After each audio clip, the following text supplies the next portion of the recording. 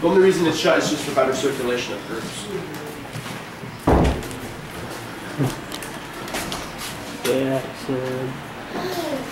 Uh, it's original. Where'd mom and dad go?